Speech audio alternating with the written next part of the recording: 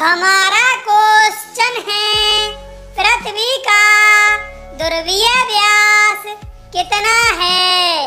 इसका सही जवाब है, पृथ्वी का ध्रुवीय व्यास